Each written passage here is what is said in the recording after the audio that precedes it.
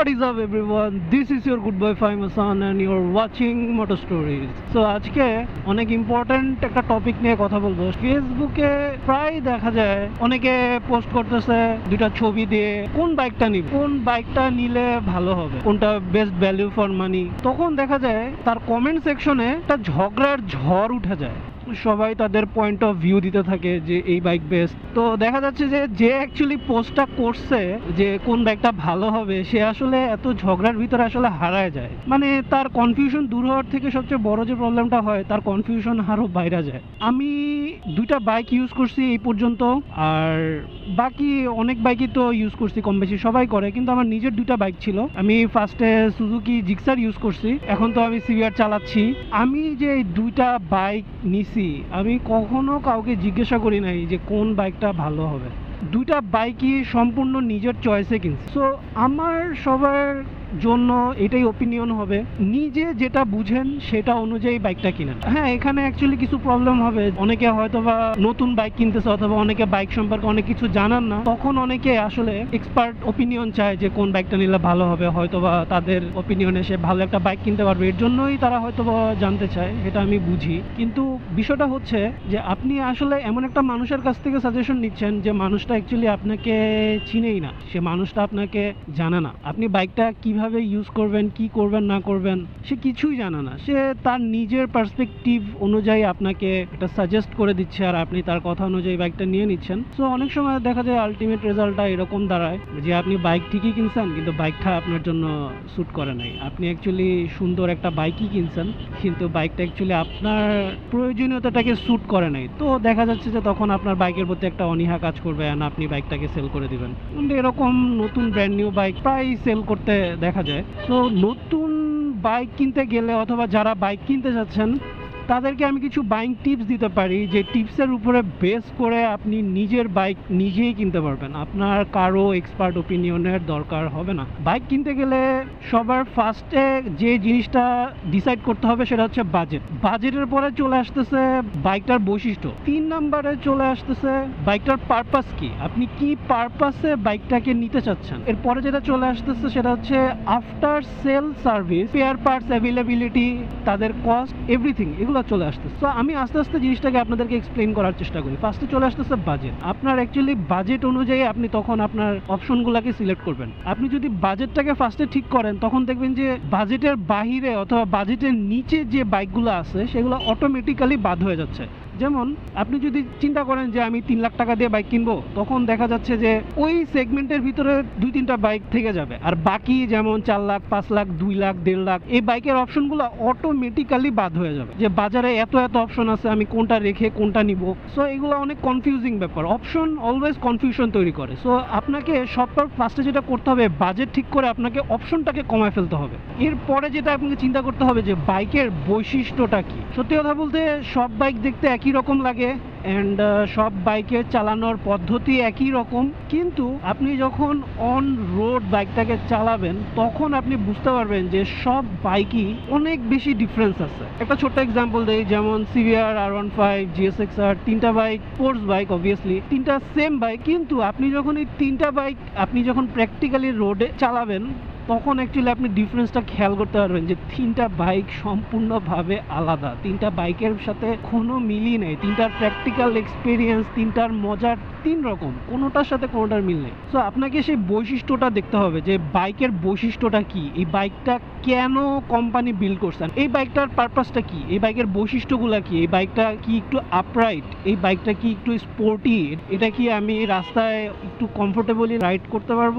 নাকি আমি এটা আমাকে অনেক ইউনো একটা স্পোর্টি ফিল দিবে, এগুলো আপনাকে আগে বুঝতে হবে। এক একটা বাইক এক এক রকম। আর এটা কনফিউশনটা দূর করার জন্য আপনি এটা কিন্তু একটু রিসার্চ করতে পারেন। কীরকম রিসার্চ করবেন আপনি গুগলে বাইকটা সম্পর্কে একটু জানতে পারেন। তাহলে আপনি অ্যাকচুয়াল পারফরমেন্সটা বুঝতে পারবেন যে এই বাইকটা বাইকটার বৈশিষ্ট্য হচ্ছে এই এই রকম। অ্যান্ড তা লাস্টলি কিনলে আপনি এরকম একটা ফিল পাবেন। এরপরে আপনি যেটা দেখবেন, আপনার পারপাসটা কি? আপনি কেন বাইকটা কিনতেছেন? আপনি কি বাসা থেকে অফিসে যাওয়া আসা করার জন্য বাইক কিনতেছেন? আপনি কি ক্যাজুয়ালি বাইক চালানোর জন্য বাইক কিনতেছেন? আপনি কি ডেইলি জাস্ট দশ পনেরো মিনিট, আধা ঘণ্টা, এক ঘণ্টা চালাইলেন দ্যাটস ইট আপনার কাজ হয়ে গেল একটু কি নাকি আপনার সারা দিন কন্টিনিউয়াস বাইকের উপরেই থাকতে হচ্ছে? এই জিনিসগুলোকে আপনাকে ডিসাইড করতে হবে যে আপনার বাইকের পারপাসটা কি? আপনি কেন এই বাইকটা নিতে চাচ্ছেন? অথবা আপনি কোন কারণে বাইকটা ইউজ করতে চাচ্ছেন? তখন দেখা যাবে যে বাইকের যে বৈশিষ্ট্য আর আপনার বাইকের যে পারপাস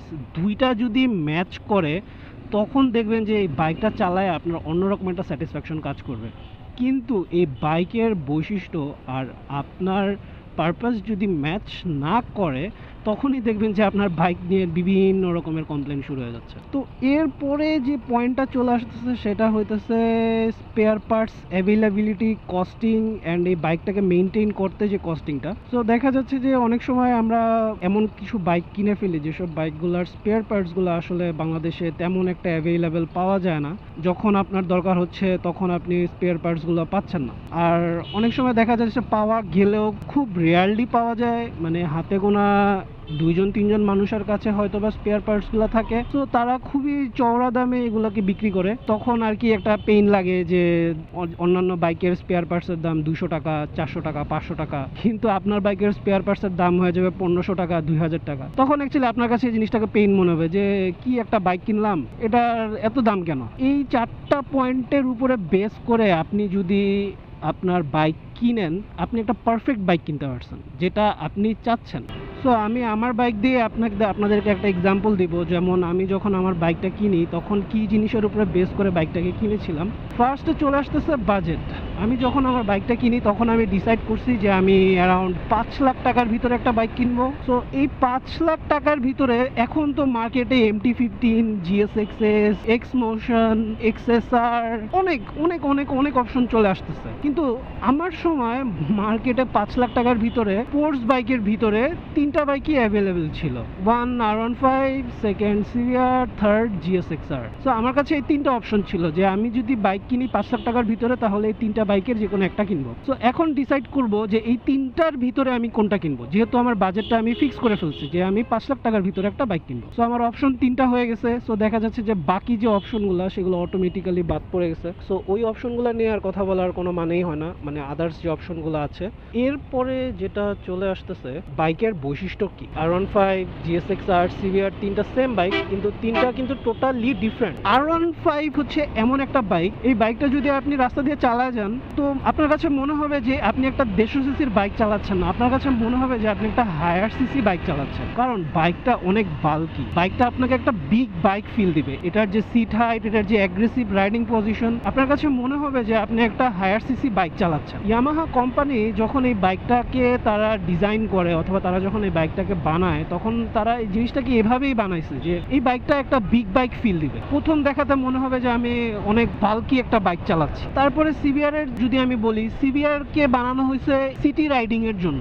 আর আপনারা যদি জিএসএক্স আর এর কথা চিন্তা করেন জিএসএক্স আরটা হচ্ছে স্ট্রেট লাইনে আপনি কতটা স্পিড তুলতে পারেন? মানে বিষয়টা অনেকটা এইরকম যেটা একটা স্পিড ডেমনের মতো আপনাকে শুধু স্পিডিং এর ফিলটা দিবে। সো আমার পারপাসটা ছিল যে আমি সিটিতে বাইকটাকে রাইড করব। সো এই হচ্ছে নর্মালি বাইকের বৈশিষ্ট্যগুলো। আদার্স যেমন সবগুলাতে থ্রটল আছে, সবগুলাতে এক্সেলারেশন আছে ব্রেক আছে অ্যাকচুয়ালি এইগুলা নিয়ে তেমন একটা কথা বলার নেই। তো এই হচ্ছে বাইকের তিনটা স্পেসিফিক বৈশিষ্ট্য আমি আপনাদেরকে বললাম। এরপরে যেটা চলে আসতেছে, এটা হচ্ছে আমার পার্সোনাল পারপাস আমি কিসের জন্য বাইকটাকে ব্যবহার করব? সো আমার মেইনলি পারপাসটা ছিল যে আমার সিটিতে বাইক রাইড করতে হবে। তো দেখা যাচ্ছে যে ডেইলি আমাকে এক ঘণ্টা, দেড় ঘণ্টার মতো বাইক রাইড করতে হতে পারে। আর সিটির ভিতরে অনেক বেশি জ্যাম ট্যাম থাকে সো কমফোর্টেবল ফিল করার ভিতরে একটা ব্যাপার আছে। কারণ আপনাকে বাইক চালাইতে গেলে অবভিয়াসলি আপনাকে কমফোর্টেবল ফিল করতে হবে। আর সিভিআর সিটিং পজিশন অবভিয়াসলি একটু কমফোর্টেবল আর ফোর যে পারপাসটা চলে আসতেছে সেটা হচ্ছে যে spare parts availability costing maintenance cost etc etc আমি যখন বাইক কিনি তখনও প্রায় হাতে গোনা কয়েকজন মানুষ এগুলাকে ইম্পোর্ট করে আনতো। আর এখন তো অনেকেই আনে সো এখন স্পেয়ার পার্টস অনেক অ্যাভেলেবেল কোনো প্রবলেম হয় না। দামটা একটু বেশি, কিন্তু আমার খুব বেশি একটা প্রবলেম হয় না। সো আমি কিন্তু আমার বাইকের সাথে স্যাটিসফাই এখন আপনার পারপাস যদি এমন হয় যে আপনি ক্যাজুয়াল বাইক রাইড করবেন, প্রতিদিনই বাইক চালাবেন, ঠিক আছে, কিন্তু বন্ধুদের সাথে একটু আড্ডা দিতে যাচ্ছেন, অথবা দেখা যাচ্ছে যে আপনি এখান থেকে এখানে হুটহাট যাইতে হচ্ছে, আপনাকে একটা বিগ বাইক ফিল দিবে, তখন আপনি আর ওয়ান ফাইভের দিকে চলে যেতে পারেন। আর আপনার যদি পারপাসটা এমন থাকে যে আপনি যদি চান যে না, আমি এটা সিটির ভিতরে সারাদিন জ্যামে বসে থাকব, আমার সাথে সারাদিন চালাতে হবে, তখন তো আপনাকে অবভিয়াসলি আর ওয়ান ফাইভ একটু দেখবেন যে আপনার কোমর কোমরে পেইন দিচ্ছে অথবা হাতে পেইন দিচ্ছে। আর আপনাকে যদি পিলিয়ন ক্যারি করতে হয়, তো সেক্ষেত্রে দেখা যাচ্ছে যে আপনাকে নেকেট সেগমেন্টে যেতে হবে। কারণ আপনি নেকেট সেগমেন্টে না গেলে আপনি খুব বেশি একটা পিলিয়ন ক্যারি করতে পারবেন না। কারণ স্পোর্টস বাইকগুলোতে অ্যাকচুয়ালি পিলিয়ন তেমন বেশি একটা ক্যারি করতে ক্যারি করা যায় না। করা যায় না তা না, যায় ঠিকই। কিন্তু ইউনো অনেক পেইনফুল একটা বিষয় এটা। আর আপনি যদি অনেক বেশি স্পিড ফ্রিক হয়ে থাকেন যে আপনি অনেক বেশি স্পিড পছন্দ করেন, তখন আপনি জিএস সিক্স আর এর দিকে যেতে পারেন। কারণ এই বাইকটাতে যে র স্পিড আপনাকে ডেফিনেটলি একটা টু হান্ড্রেড সিসি ইঞ্জিনের ফিল দিবে। সো আপনারা যদি এরকম জিনিসগুলোকে এইভাবে একটু চিন্তা ভাবনা করে একটু বুঝে শুনে বাইকটা কিনেন, আপনারা যে কোনো বাইকই কিনতে পারবেন। আপনার নিজের যেটা পছন্দ আপনি নিজে যেটা ভালো মনে করেন আপনার পারপাস অনুযায়ী বাইকের বৈশিষ্ট্য অনুযায়ী কস্ট অনুযায়ী বাজেট অনুযায়ী তাহলে আমার মনে হয় না যে আপনার যে কোনো বাইক কিনে ইনস্ট্যান্টলি সেল করে দিতে হবে আপনি একটা বাইক আপনার ইচ্ছা মতো ব্যবহার করতে পারবেন আর সবচেয়ে বড় কথা হচ্ছে আপনি এতগুলো টাকা দিয়ে একটা বাইক কিনতেছেন আপনি বাইকটা কিনে অনেক বেশি স্যাটিসফাইড হবেন So that's all about today's video. This is your goodbye five Mason signing off until next time, and uh, I'll catch you in the next vlog. Yeah, in my life, always down from the crowd.